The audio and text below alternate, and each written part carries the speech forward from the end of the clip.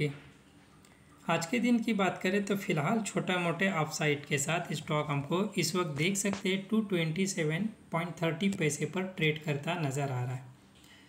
To sixty five के level से बड़ी गिरावट दिखाई। देख सकता है अपना सपोर्ट यानी टू ट्वेंटी का लेवल ब्रेक डाउन किया।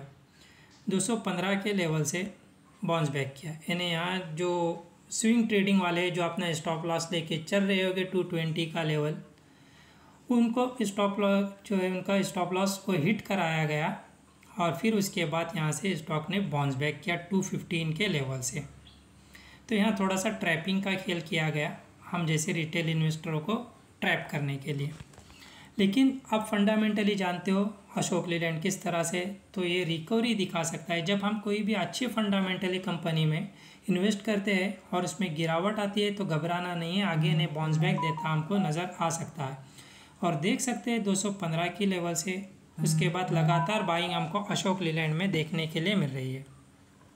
तो नीचे की ओर अभी 224 इमीडिएट सपोर्ट है। नेक्स्ट सपोर्ट 220 इससे पहले जहाँ से सपोर्ट लिया था।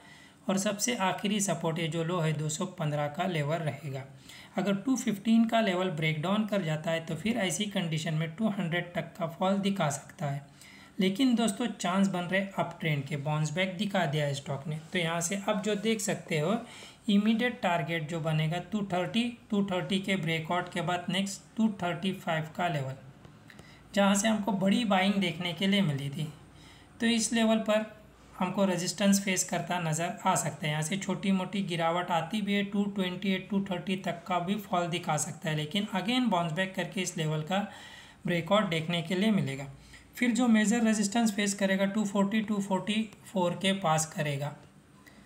नेक्स्ट टारगेट रहेगा। और फिर इसी लेवल पर हमारी नज़रें रहेगी। ये जो हाई है, जहाँ से रिजेक्शन के बाद लगातार बड़ी गिरावट दिखाई थी। अगर इस लेवल को ब्रेकआउट कर गया तो अगेन 260 से लेकर 265 तक का जम दिखा सकता है। फिर इसके बाद, इस हाई के ब्रेकआउट के बाद नेक्स्ट जो मेजर रेजिस्टेंस फेस करेगा, वो two sixty two sixty five के लेवल पर करता नज़र आ सकता है। वीडियो एजुकेशन पर्पज़ के लिए कोई बाय सेल या होल्ड की सलाह नहीं दे रहे। अगर आप डिमेट अकाउंट ओपन करना चाहते हो तो डिस्क्रिप्शन में दी गई लिंक से कर सकते हो।